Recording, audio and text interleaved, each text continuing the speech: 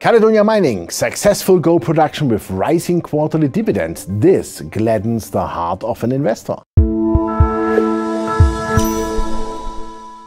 Caledonia Mining is the largest gold miner in Zimbabwe. The company's objective is to sustainably increase the already established and profitable gold production at the Blanket mine through targeted exploration and expansion in the Gwanda Greenstone belt of Zimbabwe. Caledonia has been able to continuously expand the resource base since 2012 and through smart investments, production improvements and further resource discoveries, gold production is expected to increase to 80,000 ounces per year from 2022 onwards. Currently measured and indicated resources stand at 805,000 ounces of gold at 3.72 grams of gold per ton, and inferred resources stand at 963,000 ounces of gold at 4.52 grams. Caledonia owns 64% of the Blanket project, with the remaining 36% owned by local Zimbabwean shareholders, with Caledonia continuing to seek to increase their ownership. The mine is an established Zimbabwean gold mine operating at a depth of approximately 750 meters below surface and produced nearly 58,000 ounces of gold in 2020. In addition, the Blanket project has brownfield exploration and development projects both on the existing mine site and on their satellite properties which include the GG and Mascot projects. Most recently it announced the signing of two option agreements in the Gweru mining district in the Zimbabwe Midlands where significant quantities of gold have been produced used in the past. The two areas are located just about 30 kilometers apart, have good road access and offer the potential for operational synergies should Caledonia decide to commence production from these two areas. In recent years, a lot of investment has been made in the Blanket mine and a new central shaft has been built and equipped. It is now more flexible and penetrates to a depth of about 1,200 meters for future mining. The central shaft is expected to be commissioned in the first quarter of 2021 and should allow a cumulative production of 61,000 to 67,000 ounces of gold this year and about 80,000 ounces of gold from next year onwards. It has a diameter of 6 meters and on the one hand allows to significantly increase production. After all, three new production levels will be reached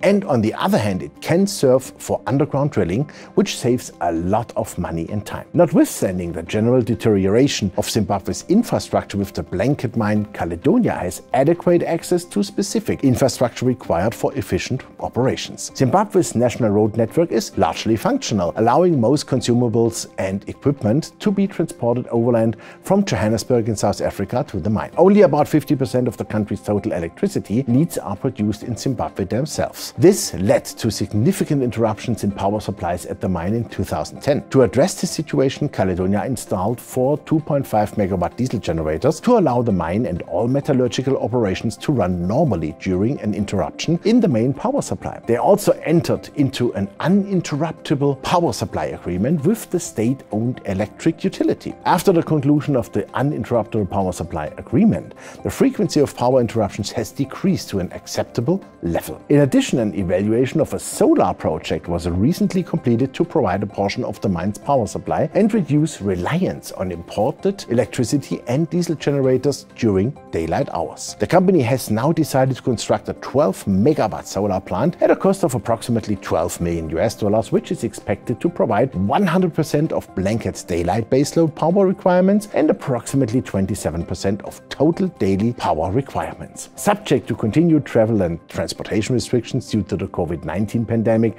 this project could be operational by mid-2021. Financially, the company is well positioned. As of 30 September 2020, Caledonia Mining had $21.6 million in cash on hand and the current capital expenditure program to support the 14-year mine life is fully funded. As a result of the strong financial position, the company has now approved their fourth quarterly dividend increase in five consecutive quarters. The increase is currently 10% over the previous quarterly dividend and increases to 11 US cent per share. Compared to the first increase in October 2019 at a starting level of 6.875 cents, this actually represents a cumulative dividend increase of a whopping 60%. Increasing production, the high gold price and good cost control have continuously led to increased cash generation, which in turn gives the board confidence that they can maintain a higher level in dividend payments. And that's even before the new central shaft comes on stream, which will further reduce production costs and increase production volumes. The company has issued a total of about 12.1 million common shares, of which directors and management hold about 3.9%. The largest shareholder is the South African fund manager Allan Gray Investment Management with 16.2%. The company is currently valued at a market market cap of just under 190 million US dollars. Caledonia is doing everything right, is debt-free and pays an attractive and further increasing quarterly dividend. That makes shareholders happy in these times of 0% interest rates.